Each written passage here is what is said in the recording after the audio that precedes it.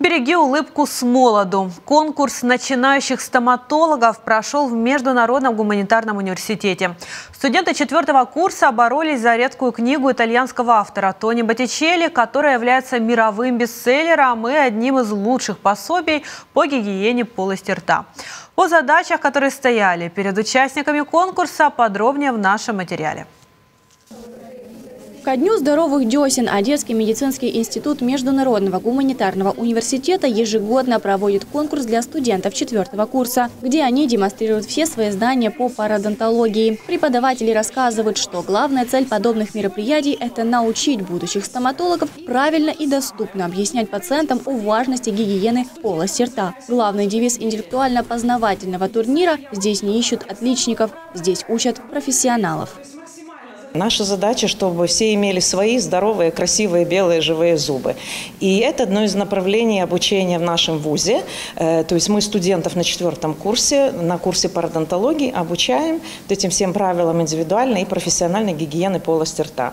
И сегодня мы проводим конкурс среди студентов э, для того, чтобы именно и выявить лучшего, да, кто уже в профессии. Э, их задача, опять-таки, показать не только какие-то навыки, а показать, как они смогут донести до людей. То есть они должны уметь говорить, они должны убедить человека, да, э, зачем нужна гигиена полости рта. Нет здесь какой-то задачи найти отличника.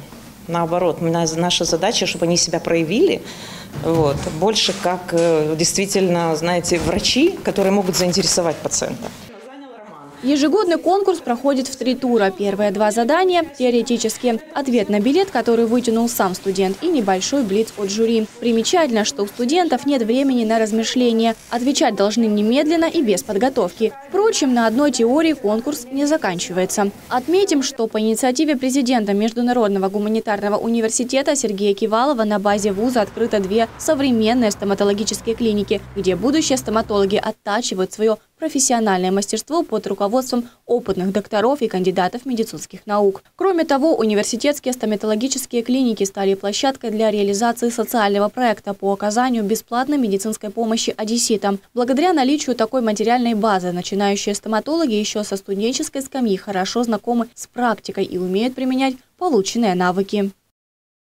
И третий тур – это мануальные навыки, это так называемое снятие зубных отложений. Э, они получают модель с искусственной десной, инструмент и показывают на моделях, как правильно работать тем или иным инструментом. Ну и победитель у нас получает у нас очень э, не только гигиенические подарки, а мы пошли по пути, что все-таки это университет, и мы дарим очень дорогие книги. Спасибо тоже нашим партнерам, которые предоставили нам подарки. То есть первый победитель получает бестселлер вообще мировой. Это Тони Боттичелли, итальянский итальянский автор. Это лучшая книга в мире по гигиене полости рта. Активность и лаконичность – эти два качества хотят видеть члены жюри участников конкурса. В профессии стоматолога также важно уметь грамотно доносить информацию до пациента, чему студенты и учатся на конкурсе. Следующая щетка от ТП идет э, в два ряда. Она используется для э, искусственной десны. Она очень жесткая. Все мы знаем, что для искусственной десны нужно максимально жесткая Э, щетка, щетина для того, чтобы все успеть вычистить. Я ожидаю от них активности, очень такого желания победить. Я помню прошлую группу, они все рвались к победе. Вот, и эти детки, я думаю, тоже будут такими же. Они уже начинают отвечать, они выбирают эти щетки, ёршики, подбирают, суетятся, боятся, ну, чуть-чуть боятся выходить говорить. Но, в принципе, они все знают, и я надеюсь, что они просто свои знания грамотно покажут. Студенты-стоматологи отмечают, такие конкурсы – это дополнительная мотивация и практика. Кроме того, подготовка к экзаменам и повторение пройденного материала за год. Более того, руководство и партнеры университета предоставили будущим стоматологам возможность поработать с профессиональными американскими инструментами, которые, к слову, не все наши практикующие специалисты могут себе позволить. Здесь можете видеть парадонтальный возовский зонд. Это специальный зонд диагностический. И мы проверяем глубину карманов, если они, конечно же, есть. В этих карманах может скапливаться зубной камень. Его мы вычищаем с помощью вот таких инструментов. Это называется кюреты Грейси. Также есть универсальный инструмент. Он называется кюрета Коламбия. Им мы тоже можем удалять как поддесневый, так и наддесневый камень. Спасибо Юлии Геннадьевне и вот, э, нашим представителям МНСП, что они предоставили нам э, такие инструменты, что мы можем вообще их подержать в руках, э, понять, как они работают, что когда мы столкнемся с этим в реальной жизни, нам уже будет намного проще. І сьогодні у нас проходить такий конкурс, який є для всіх загальноосвітнім. І я дуже рада, що Юлія Геннадівна забезпечила нам цю можливість працювати сьогодні під час карантину. Ми всі в масочках, ми дотримуємося дис- дистанції. І ми працюємо з такими класними інструментами, які е, не кожен стоматолог може собі дозволити, а, дозволити. А ми собі дозволили.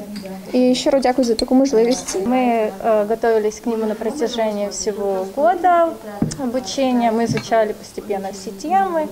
И э, нас предупредили, что будет скоро конкурс. Мы повторяли по определенным материалам. У нас были лекции, семинары. Э, Юлия Геннадьевна нам э, все темы раскрыла. И мы, в принципе, уже были готовы к конкурсу. То есть особой подготовки какой-то там сидеть ночами не предполагалось.